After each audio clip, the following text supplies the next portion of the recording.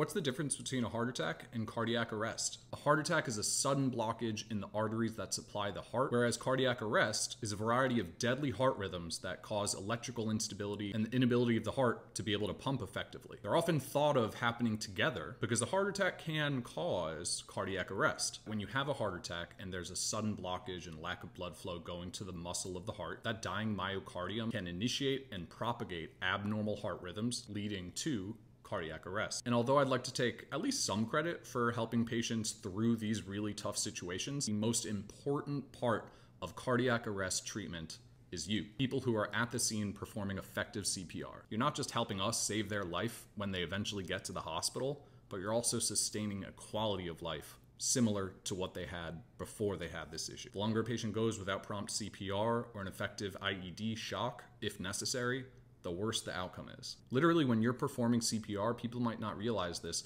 but you're really compressing the chest and squeeze out blood to go to your brain and other vital organs, letting the chest recoil and fill up with blood again so that you can then pump it to the rest of the body. Your brain only has like five minutes before it starts literally dying and suffering permanent, irreversible damage. And trust me, you would rather know how to do it before you have to actually do it. So sign up online, go to a CPR class, help us save someone's life potentially. Hopefully, it's a skill you never need to use.